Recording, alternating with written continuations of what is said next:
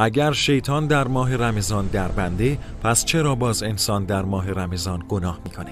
درسته که در ماه رمضان شیطان در قل و زنجیره ولی انسان که در قل و زنجیر نیست. انحراف در انسان به دو عامل شیطان و هوای نفس برمیگرده. در حدیثی از پیامبر اکرم صلی الله علیه و آله و سلم اومده که خدایا از تو می‌خواهم که به من مسئولیت در برابر شیطان و قدرت ایستادگی در مقابل هوای نفس بخشی.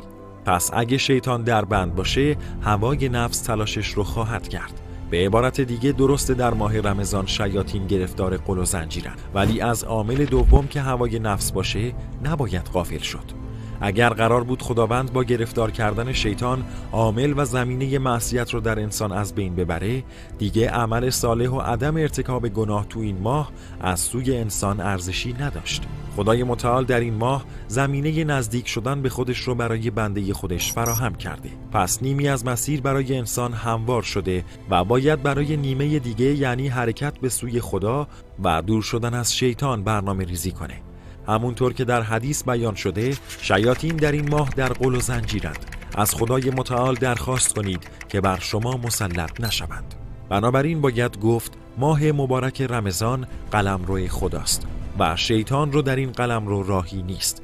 اگر انسان در این ماه با عبادت و بندگی خدا تونست وارد قلم روی الهی بشه دست شیطان و شیاطین به اون نخواهد رسید.